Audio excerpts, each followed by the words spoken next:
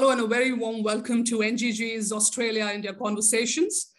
Australia India ties are experiencing a new momentum, energy and enthusiasm, as both countries have signed the much awaited interim trade deal, the Australia India Economic Cooperation and Trade Agreement, AI-ECTA. The comprehensive Australia-India ECTA provides for competitive tariff elimination or tariff reduction on a wide range of goods and opens new services markets for suppliers across both markets. The aim is to enhance the bilateral trade to $45 billion in the next five years, currently at $27.5 billion, with a clear focus on job creation, enhanced mobility, mutual recognition of qualifications, uh, and also increasing the exports uh, by over $100 billion uh, by 2030. Today we have with us uh, Peter Varghese AO, who has had an extensive career in public service and diplomacy spanned over four decades. He has served as Secretary of the Department of Foreign Affairs and Trade, was also Australia's High Commissioner to India, currently Chancellor of the University of Queensland, and is the acclaimed author of the India Economic Strategy to 2035, also known as IES 2035, commissioned by the Australian Prime Minister and was submitted in July 2018.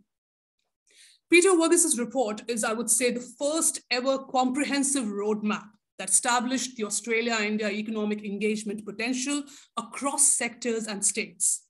It provided Australia an outlook on existing growth opportunities in the India market and an ambition to deepen the bilateral economic ties. So let's hear it from Peter Varghese, his thoughts on the latest momentum in the bilateral ties and the opportunities, as well as the road ahead. Thank you, Mr. Varghese. Uh, welcome to NGG's Australia-India Conversations. Thank you. I'm very happy to be here with you and to discuss uh, the bilateral relationship and other issues. Pleasure to be speaking with you today, uh, Mr. Varghese. So what really are your thoughts on the recent signed AI-ECTA Will the deal, really, you think, uh, prove itself to be a breakthrough in deepening Australia-India economic ties? Well, I think it's a very positive step. And given the, the long and somewhat tortuous history of these negotiations, I think to conclude an agreement, even if it is an interim agreement, agreement is um, um, a significant step forward.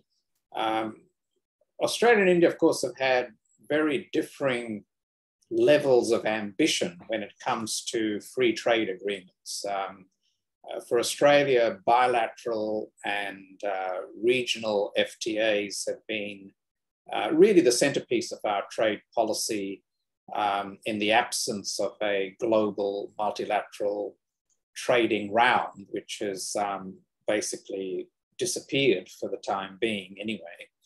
Um, and so we have always brought as a country um, a very high level of ambition in the FTAs that we've negotiated. India's experience is quite different. I mean, in, India has concluded fewer of these FTAs. I think it's fair to say that FTAs are not the centerpiece of India's approach to uh, trade and investment. Um, and so reconciling these two uh, differing levels of ambition has really been at the core of uh, a decade plus negotiations um, up, to, up to now. So um, the agreement itself, I think, is sufficiently comprehensive to um, classify as a serious bilateral agreement. Um, I think getting 86% um, of uh, Australian exports uh, to India tariff free um, is a higher number than I would have thought a few years ago. Um, and the number is even higher in terms of the, of the reverse direction. Um, I think it's a, a measure of the progress that we've made in these negotiations that this is the most comprehensive FTA agreement that India has signed.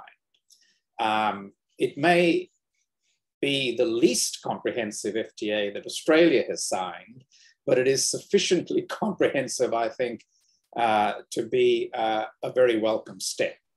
Um, now, whether, whether it's possible in the short to medium term to build on that achievement uh, and move to a fully comprehensive agreement, I think time would tell, although my, my expectation is that we would remain in the interim uh, phase for a considerable period of, uh, of time.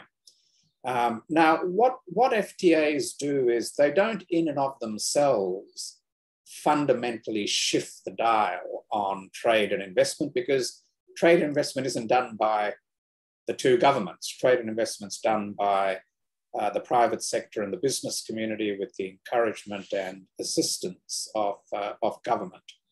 Um, and what this will do, I think, is firstly um, have a head turning effect. I think it will signal to the Australian business community that um, India is a large and important market for Australia.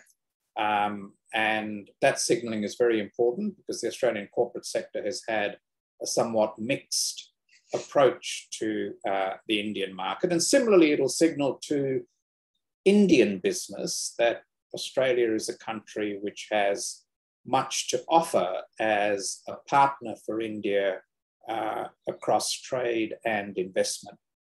Now, obviously, the elimination of barriers makes doing business easier.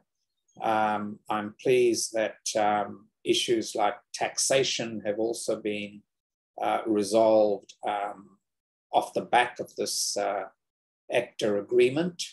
Um, I think it's important that we have as robust a framework for investment between our two countries um, as possible, uh, because in my view, um, investment is going to be a very significant component of our broader uh, economic relationship, and in many ways um, may be uh, a more important facilitator and promoter of trade uh, than traditional trade in, uh, in goods and services. Um, so, if we're thinking about the trajectory of this relationship, um, I think this, uh, this agreement will certainly uh, be on the positive side of the ledger, but it's really now uh, up to business communities and business entities to be looking at the Indian market, seeing where the opportunities are, uh, and beginning the rather long process of market entry into India if they haven't been there before, or if they have been there before, um, expanding their, their, their operations. So I think in terms of where we want to end up in the in the medium to longer term, this is going to be an important stepping stone. It's a very interesting insight when you mentioned about most comprehensive uh, from the Indian standards, but maybe least comprehensive from the Australian standards. Now, a few things which are repeatedly being said, especially uh, with the visit of uh, the Commerce Minister last uh, two weeks ago uh, to Australia with the largest ever business delegation just prepared in 36 hours and he mentioned that New India is ready for business uh, if the deals are reciprocal, non-discriminatory, and equitable. And that's what you know uh, repeatedly is being promoted by the government of India. That that's how they're looking for this engagement. From that perspective, do you see that Australia has now uh, got a first mover advantage in, a, in, an economy like India, seeing uh, the fact that uh, it's an agreement signed uh, with a developed economy after a gap of 10 years?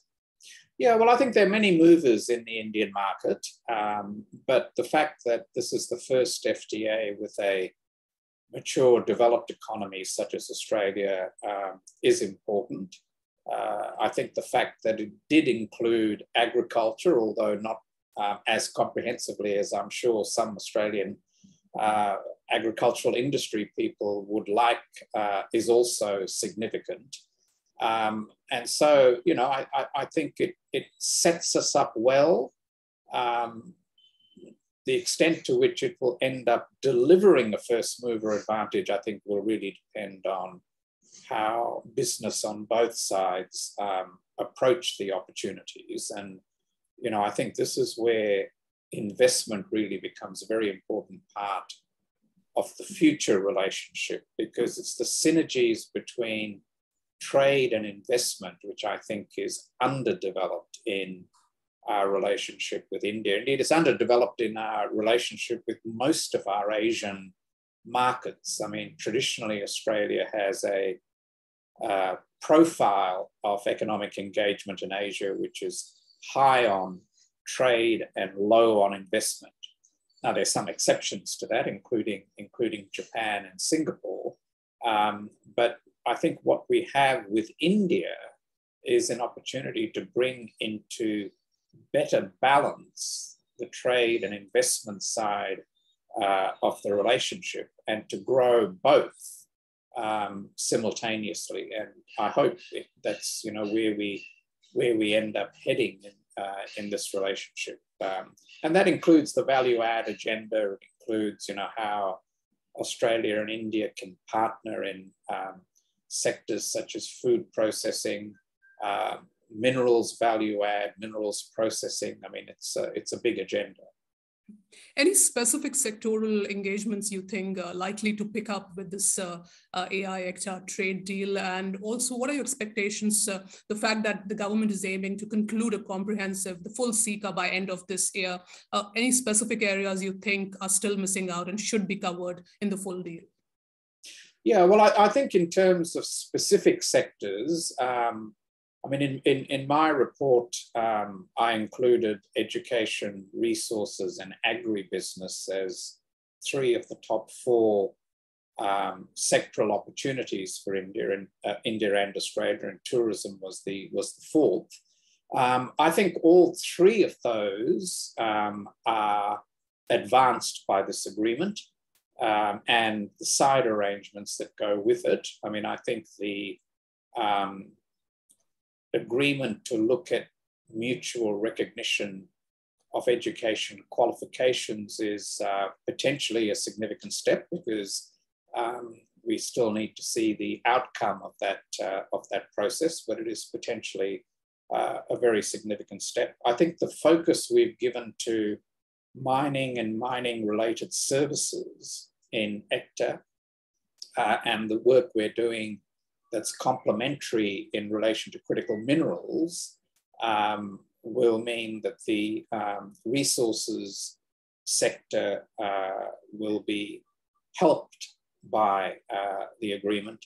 Uh, it's, a, it's a more mixed picture, I think, when it comes to agriculture, because they are um, areas that are still excluded from trade liberalization in this agreement. And I guess that would be the focus of the negotiations on um, a, final comprehensive agreement, those areas that have been um, left out of this agreement, and we can we'll see whether it's possible to uh, bring them into a into a into a comprehensive agreement. But you know, it's like life more generally. You you don't want the perfect to be the enemy of the good, and to the extent that you can uh, take positive steps forward and they keep you moving in the right direction and they're consistent with your policy settings uh, and they respond to business interest and business priorities, then you know it's um, it's clearly something um, something worth doing.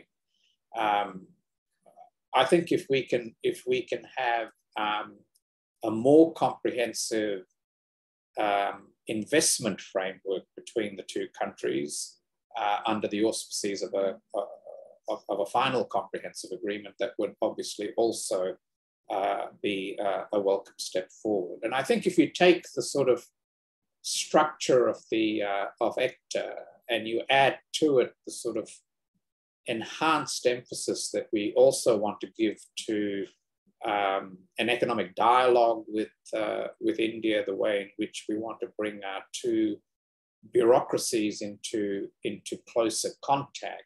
I mean, you can see um, that we're looking to broaden the foundations of this, uh, uh, of this economic relationship because uh, that policy dialogue, in my view, is, um, is extremely important. I mean, it's, uh, it's important for Australia and India to understand where each is coming from in terms of their broader policy framework. And I think we can learn from each other in terms of the challenges of opening up an economy. Um, I think the history of India's um, economic growth is that the more open its economy is, both internally and externally, uh, the better it performs. And I think the same applies in spades to uh, the Australian economy. Um, now, we have different domestic political challenges in terms of how we prosecute the case for um, uh, an economy that's getting more open, more outward looking. Um, but that doesn't mean that we can't learn from, uh, from each other, including in relation to um, you know, our, our, economic policy settings. Um, India's um, reform agenda is obviously um, both a complicated and a very broad one, but one of the areas where Prime Minister Modi has been particularly focused is on bureaucratic reforms, on the capacity of the Indian system to uh, deliver effectively on government policies.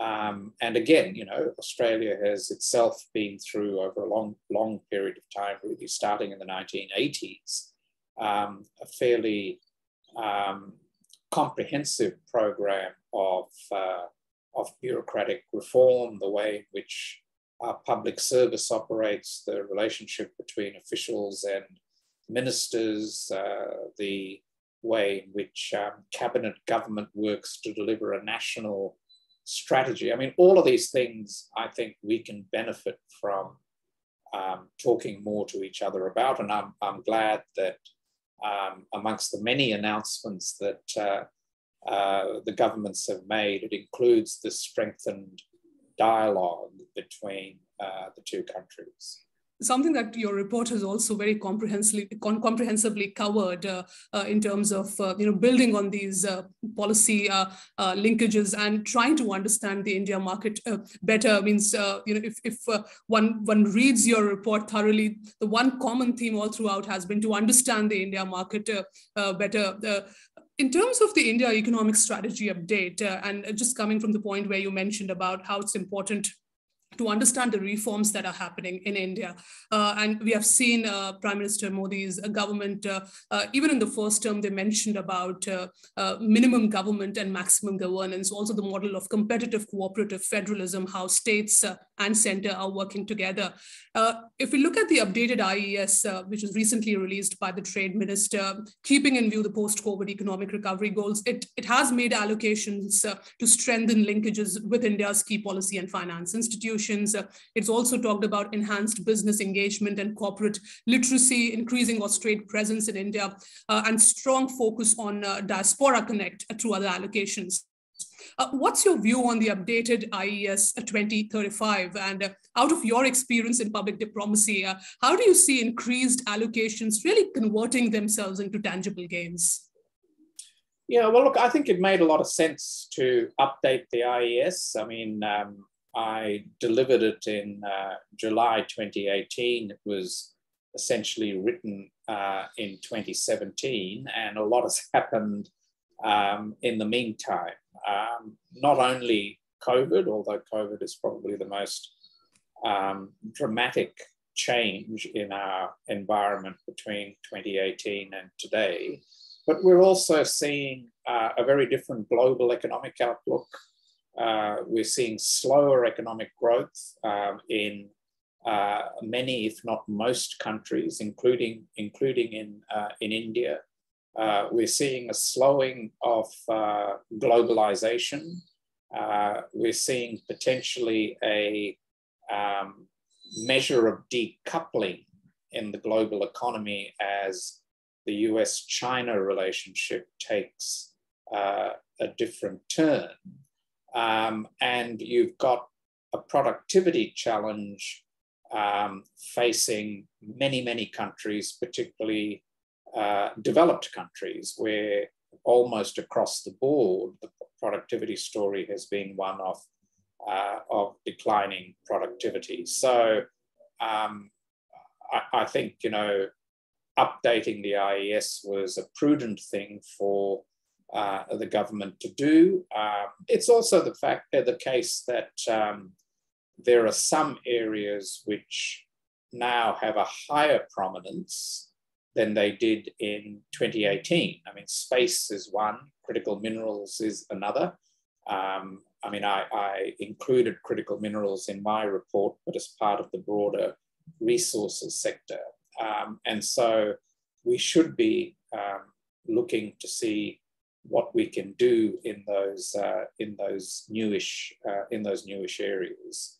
Um, on the, the broader public diplomacy point um, that you raised, I mean, I, I, think the announcement of a Centre for Australia-India relations is a very welcome um, development. I think the funding that goes with it is even more welcome because quite often um, you can make a splash by announcing a new um, organization or unit, uh, but then not see very much resources devoted to it. Um, so $280 million invested in different areas of the bilateral relationship, I think is a measure of seriousness on the part of the, uh, of the Australian government. And um, this new centre, there's still a lot of details to be worked out about how it'll be structured and um, um, what its um, operating um, mechanisms will be. But I think um, looking at questions of broader India literacy uh, is important because um, we do need to understand India better in Australia. I, I think our knowledge of India is not deep um, and needs to and needs to improve. Um, I think if you look at issues like India studies in Australian universities, we were probably doing more in the 1960s than we're doing today. So I think that whole literacy agenda is, uh, is very important. Um, the emphasis on the diaspora is something I welcome because I included it really as one of three supporting pillars for the relationship um, after geopolitics and, uh, and economics. And um, I remain um, very much of the view that the future of this relationship is going to be very strongly influenced by uh, the role that the diaspora um, can play. Um, and I see the Indian diaspora as not only a very important bridge to the economic relationship, but I also see the Indian diaspora as playing a much more significant role um, in the longer term in Australian politics as well. And that in turn, I think, will make sure that uh, this relationship sort of retains a priority um, amongst Australian governments, federal and state. But I think it's also the case that Australia has a very underdeveloped view about what is the best way to maximize the utility and the contribution that diaspora communities can make, and not just the Indian diaspora. I mean, I think you know we're a very multicultural society, and we have diasporas from many parts of the world in Australia. And while I think we've had a kind of immigration slash multicultural framework of thinking when it comes to the diaspora, we haven't really developed um, a strong strategy or framework when it comes to uh, the role of the diaspora in business relationships. And that's what I hope, you know, the center as well as um, other initiatives that are being taken um, can achieve because you know, ultimately we need to see diaspora groups as a shared resource um, and countries like India and China have a much more long standing and sophisticated approach to um, utilizing uh, the value of the diaspora in advancing their interests in the bilateral relationship. And I think Australia should be doing something equally sophisticated, but tailor made to uh, the um, Australian environment. So I, I hope um, this will be one of the more significant medium to long term uh, benefits. Um, I think the study that um, was released at the same time as the update to the IES on the diaspora is a, is a very good um, step in that direction. I think it gives us a, uh, a clearer picture, a clearer map of uh, the nature of this diaspora but it's transferring the headline uh, intuitive judgment about the diaspora being an asset into a more detailed strategy. And um, um, quite a lot of work needs to be done on that, I think. Right, and uh, as, as you rightly said, that you'd also mentioned this as, as a key pillar uh, in, in your report, that how diaspora's talent, skills, and network can be utilized in a big way to really, uh, you know, uh, push this relationship uh, on several fronts, on economic front, on, on a on larger public engagement basis, but remains to be seen because the report calls it an asset report, but to convert this asset in a real potential, uh, yeah. you know, something where, you know, all the, all the, all the measures which the current, which the government currently is taking through through uh, the Center for Australia-India Relations and several other me measures through the investment um, will, will play uh, a, very key uh, role. Uh, uh, just trying to understand more also through the geostrategic and geoeconomic uh, implications, Mr. Varghese, you know, in terms of what do you see will uh, uh, this particular trade deal and the closer engagement between both uh, countries, Australia and India, with respect to the role of economies in the Indo-Pacific and in Quad? And do you foresee a scenario where uh, a stronger bilateral engagement will also make way for a stronger multilateral engagement, uh, turning it into a reality in, in, in, in groupings like the RCEP or even APEC, if I may say so? Yeah, so well, um, on RCEP, I mean, from an Australian perspective, it was very disappointing that um, in the end, India chose to stay outside of RCEP. I mean, I think we all understand the domestic calculations that sat behind that and the concerns about um, how Indian interests might be affected, um, particularly uh, in relation to China. But, you know, it goes back to the point I was making earlier that uh, India does best when it is most open. And uh, the more India um, integrates into trade and investment groupings that have a liberalization agenda at their heart, I think um, the better it will be for India's long term prospects. But at the end of the day, that's a judgment for India. It's not a judgment for, uh, for uh, Australia to make. Um, I've for a long time been an advocate of um, bringing India into APEC, and uh, in my report, I recommended that we actually take um, uh, a lead in that process. Um, APEC itself, of course, I think has probably dipped a bit in terms of uh, the focus that countries have on APEC, and I think the APEC trade liberalization agenda, in a sense, has been um, a victim or collateral damage in terms of the broader sort of slowing down of um, regional multilateral trade liberalization, not, not to mention global uh, trade liberalization. But, you know, APEC still, in my view, has um, a role to play when it comes to uh, areas like trade facilitation, when it comes to just trying to keep alive the ambition of trade liberalization when it comes to sort of um, peer comparisons about how different economies in the region are approaching trade and investment liberalization. And so I, I think um, uh, having an economy the size of India's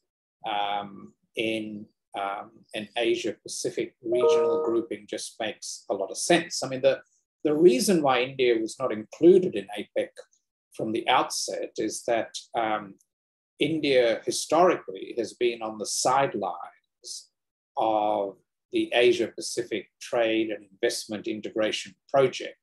But that's changed um, and it's continuing to change. I mean, as India strengthens its economic linkages to East Asia, as India pursues and you know enact East policy as India's own economic interests pull it closer to Southeast Asia and to um, Northeast Asia as well, um, that picture will start looking uh, very different and um, having India on the outer uh, will make less and less sense, I think, from the point of view of other, uh, of other APEC um, economies. So um, I think anything we can both do, Australia and India, to keep, you know, advancing the trade and investment liberalisation agenda um, is worth doing, um, accepting that we will not bring identical uh, perspectives um, to this. And again, you know, uh, our levels of ambition uh, may, be, uh, may be a bit different. Um, I think the other very, very significant trend that we're all going to have to grapple with is the way in which um, geoeconomics now is being reshaped um, as a consequence both of lessons people think they've learned from COVID, uh, but also in the way in which uh, there is this um, emerging fault line now uh, between China and Russia uh, on the one hand, and um, other countries, particularly what we used to call the West, uh, on the other. And um, India's place in that is going to get a bit more complicated, in my view, um, not least because of the India Russia relationship. And we've seen this with, uh, with the Ukraine, we've seen it with the um, uh, level of discomfort India has uh, in joining um, a broader international condemnation of uh, Russia's invasion of, uh, of Ukraine. We've seen it in their abstentions uh, in, in, in the UN. Um, and um, this more complicated cleavage in global geopolitics, um, I think, will uh, also complicate India's balancing act. Now, where I think Australia and India are very much on the same page uh, is in having a shared concern uh, about the implications of China becoming the predominant power in the Indo-Pacific region. I think each of us, for our own reasons, and they, they, they aren't identical reasons by any, any means, but nevertheless, each of us, for our own reasons, uh, is uncomfortable with that prospect.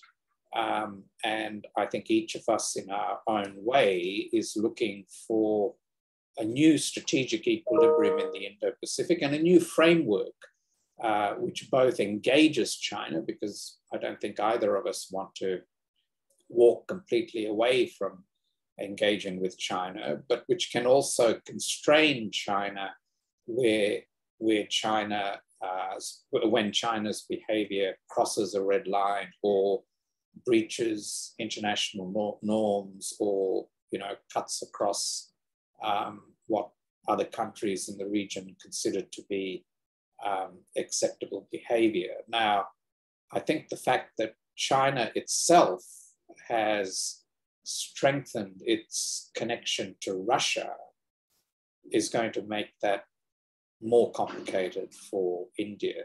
Um, and to put it at its simplest, um, how does India continue to work with the United States to constrain China while China works with Russia to constrain the United States.